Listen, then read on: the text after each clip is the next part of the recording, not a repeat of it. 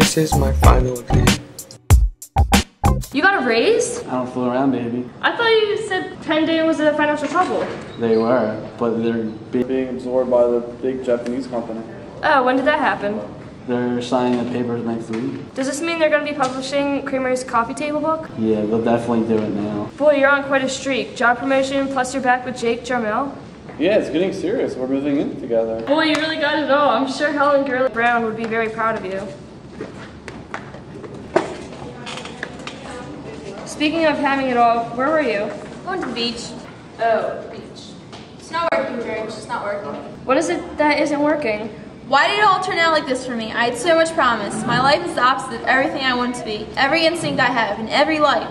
Be it something to wear, something to eat. It's all been wrong. Why don't you just order your lunch two on toast? Yeah.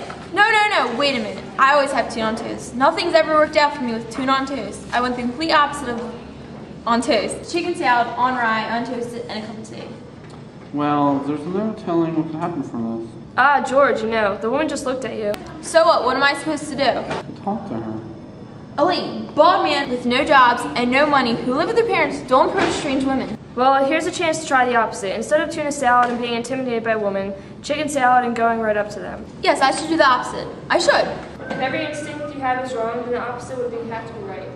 Yes, I will do the opposite. I used to sit here and do nothing and regret it for the rest of the day. So now I will do the opposite. Do something.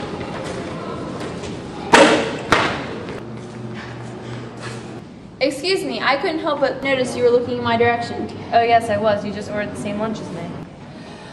My name's George. I'm unemployed and I live with my parents. I'm Victoria. Hi.